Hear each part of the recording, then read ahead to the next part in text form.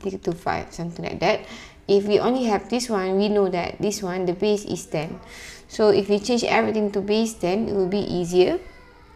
So if I change to base 10 log okay when I just write the question first. Log 64 12 divided by log 16 7 which is equal to log 10 49 you see the back one and then the front one log 10 12 times log 10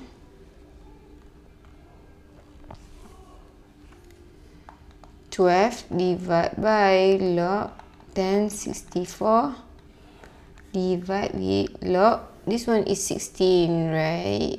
No 10 7 divided by log 10 16 so we see here we take the back one first 7 and then 16 so we see here log 10 12 this one can be cancel off.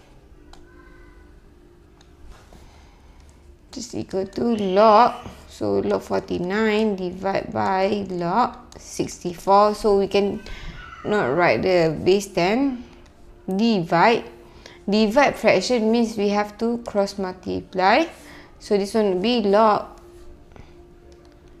log 10 16 or log 16 here divide by log 7 so here 49 is equal to log 7 square.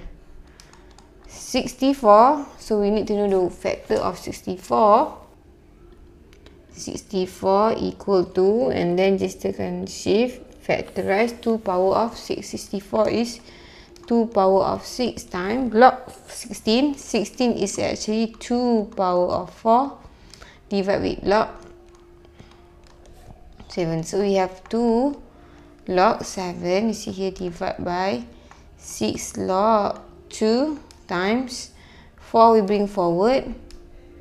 4 log 2 divided by log 7 so log 7 and log 7 we can cancel off and get 2 log 2 and log 2 we can also cancel off which is equal to so here 2 and 6 we get 1 over 3 times. This one we have only left with 4 and this one is 1 which is basically 4 over 3